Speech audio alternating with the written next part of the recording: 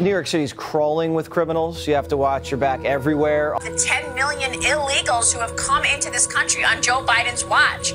I had a friend the other day tell me she was standing at a food truck. Two gentlemen uh, approached her. One had tattoos all over his face. They looked like illegal, she said. Joe Biden has made us a third world country. Never in the history of this country have I seen people, especially in New York City, living the way they're living now, where the illegals are coming here. We're greeting them on buses. We're flying them in. They give us this false, you know, I have to, I'm being persecuted. Give me asylum. We shake their hand. We give them a goodie bag. We got, we drove from on Sunday morning, we drove from Philadelphia area from that rally on Saturday night to New York City, and I spent the day yesterday exploring, uh, you know, the city and kind of staying around this area for the most part. I got to say, I, I, I, thought I would see more homeless situation here. I thought I would see a little bit more chaos on the streets uh, than what you know, the, from what I've been told, and I didn't see as much as I thought I would. So I am shocked, shocked. Well, not that shocked. No. So you're telling me the streets of New York aren't free flowing with trash and awash with violent migrant criminals like Fox News would have you believe? We give them a goodie bag. They come in, they take a goodie bag, and they steal everything they can from CVS. They beat up the employees at Target and at uh, Macy's. Then they assault the police, resist arrest. There's a trail of destruction, economic devastation. Last year, Bra- Bragg downgraded 60% of felonies in New York City. New York City is also made up of five boroughs. Each borough has its own district attorney. Manhattan, Alvin Bragg, Brooklyn, Eric Gonzalez, Queens, Melinda Katz, the Bronx, Darcel Clark, Staten Island, Michael McMahon.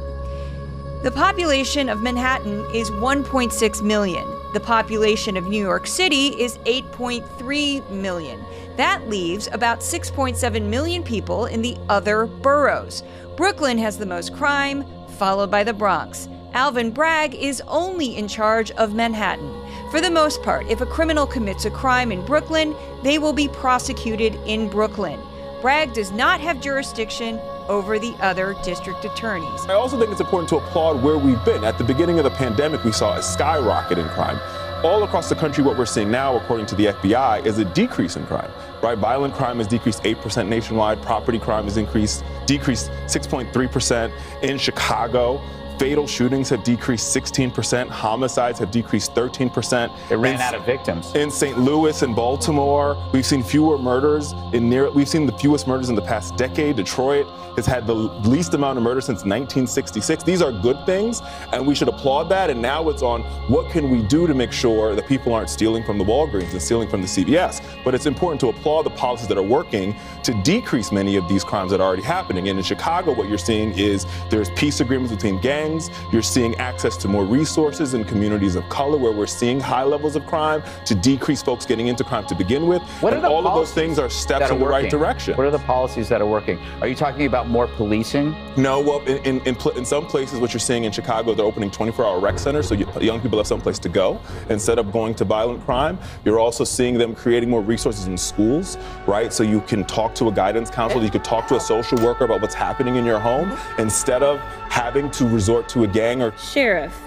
do you know if within the last year between 2022 and 2023, if there was an increase or decrease in murder and negligent homicide in Tarrant County?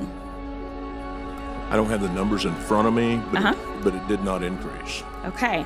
In fact, it went down by almost 17%. So great job.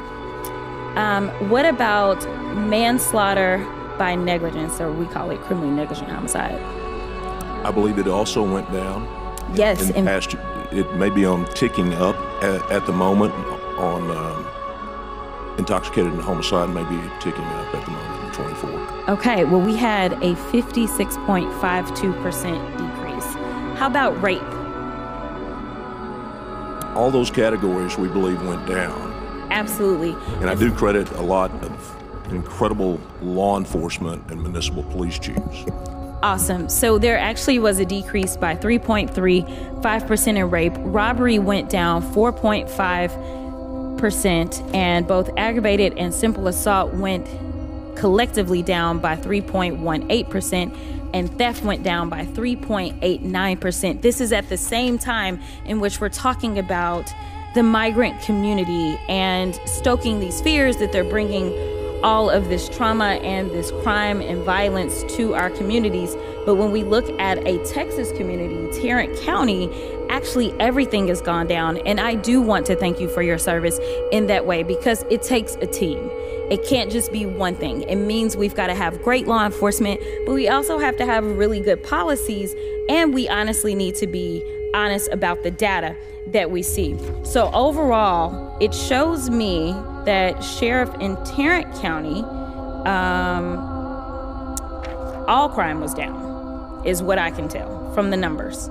Color me shocked. I got to say, I, I, I, thought I would see more homeless situation here. I thought I would see a little bit more chaos on the streets uh, than what you know, than, from what I've been told, and I didn't see as much as I thought I would. So the fact that this reporter believes the lies of his own echo chamber shouldn't be surprising, but it is because we all know, and we've known for years, that there's lies in this echo chamber. If you remember, during the discovery of the Dominion lawsuit, where Fox had to pay nearly a billion dollars because of their election lies that they did on air and convinced so many Americans of Trump's lie that the election was stolen, we found out that their own anchors didn't believe their lies. We saw Tucker Carlson say, quote, Sidney Powell is lying, by the way. I caught her. It's insane. And he wrote that to Laura Ingraham, who responded, quote, Sidney is a complete nut. No one will work with her.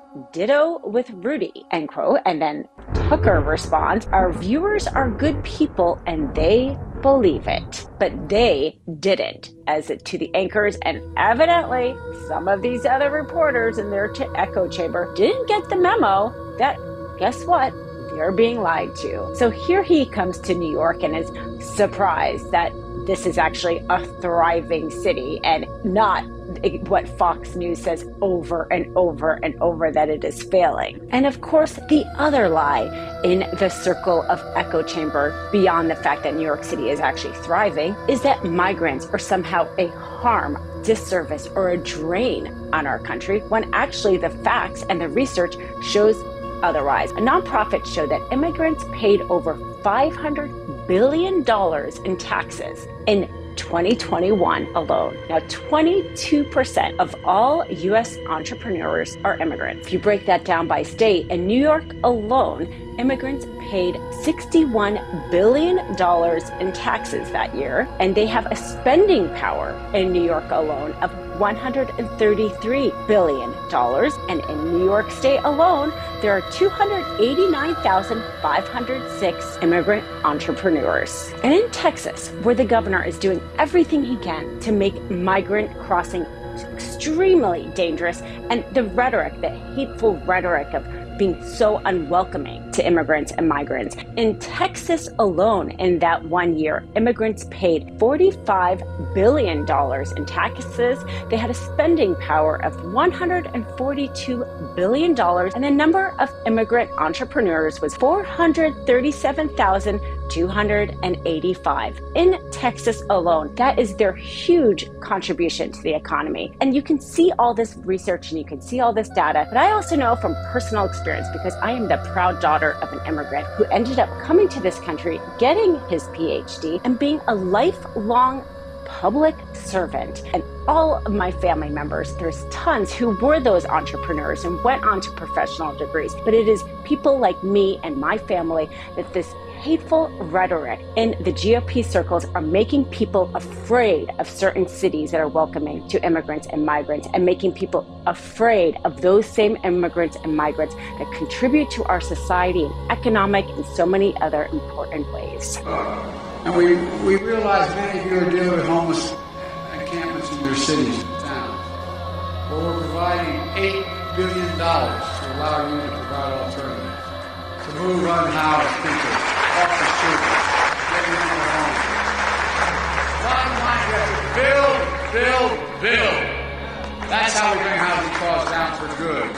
Folks, at the same time, America deserves the freedom to be safe from crime. And America is safer today than when I took office. started the American Rescue Plan and made the biggest investment in public safety effort, and you used it well. You, all of you, have done a tremendous job in your communities putting work. Using federal money to hire more officers, perfectable, accountable community policing, expanding violence intervention programs to help prevent crime. Folks, we don't always hear about it, but today's violent crime rates are down nationwide, nearly every major category. One of the lowest levels in over 50 years. There's more to do. We're making American progress. Serious progress. It's a two man race. There's only two people in this race who can get to 270 electoral votes Donald Trump and Joe Biden. Joe Biden stands for the middle class. Joe Biden has uh, built up our economy.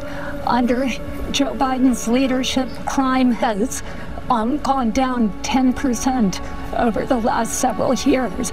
He is an extraordinary leader. He cares deeply. He shares my family's values. We need every single person to vote and vote for Joe Biden. If everyone who can vote goes out and votes, Joe Biden wins. Real quick, Meta just changed their algorithm to suppress political content. Please follow our Instagram at Midas Touch right now as we head towards 400,000 followers so you don't miss a beat.